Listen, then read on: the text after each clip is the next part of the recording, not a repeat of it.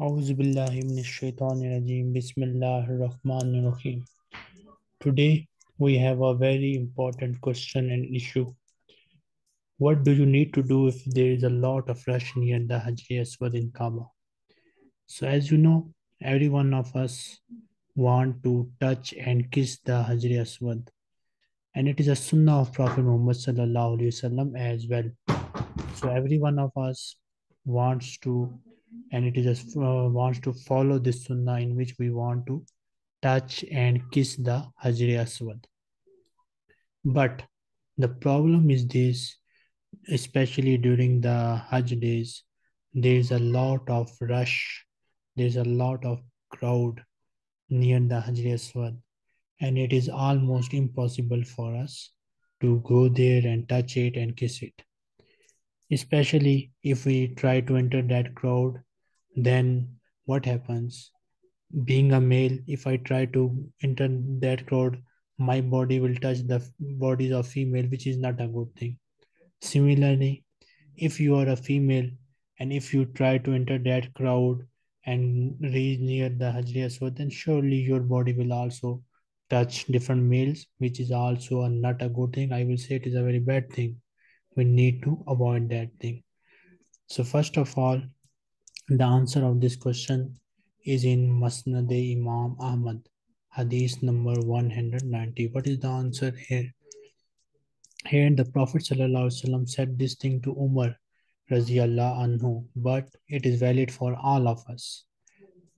You are a strong man, do not crowd others to touch the black stone, lest you harm the weak. If you find a gap, then touch it. Otherwise, turn to face it and say La ilaha illallah and Allahu Akbar. So, what does this mean?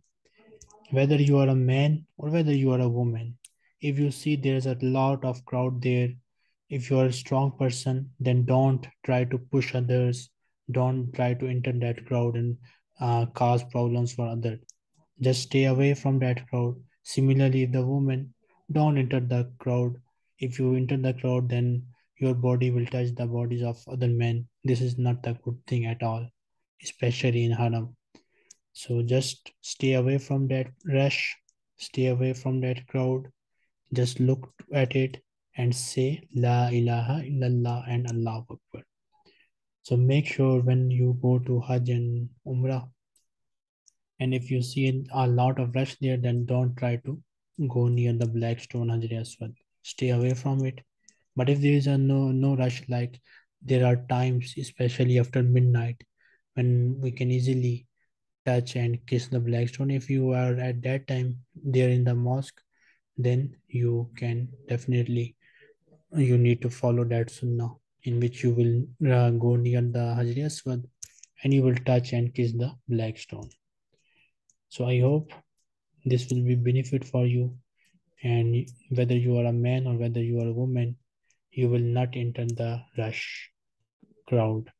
And you will make sure that your body will not touch the bodies of non-mahram if you have any question feel free to ask me. See you all next time inshallah. Ma salama